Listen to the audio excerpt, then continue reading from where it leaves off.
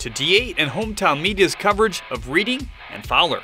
Reading jumped out to a quick start and were up 14 0 with 7 minutes to go in the first. Fowler senior QB Caden Pung fades back and floats it up for Carter Pline, who hauls it in.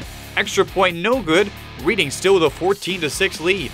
Reading would have an answer with time winding down in the first quarter, however. Elijah Strine gets the handoff, plows his way through the left side, and stretches into the blue paint. The Rangers would miss the two point conversion and led 20 6.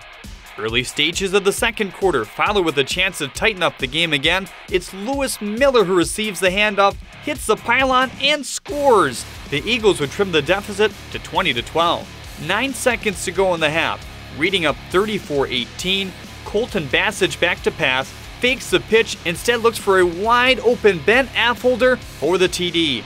Reading would never look back and took the game 62 18. The Rangers will face Beal City in the D8 State Championship.